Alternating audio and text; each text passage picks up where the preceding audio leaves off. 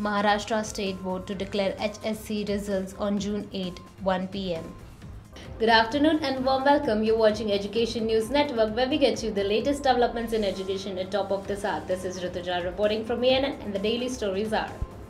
The results of Class 12 board examination held in March 2022 will be declared on June 8, tweeted State Education Minister Varsha Gaikwad on Tuesday. The result will be available online at 1 pm on website officiated by the Maharashtra State Board of Secondary and Higher Secondary Education. Mark sheets will be distributed for students to their respective schools and junior colleges on Friday, June 17 from 3 pm onwards. A total of 14.85 lakh students have registered for the examination on which 8.17 lakh boys and 6 6.68 lakhs girls.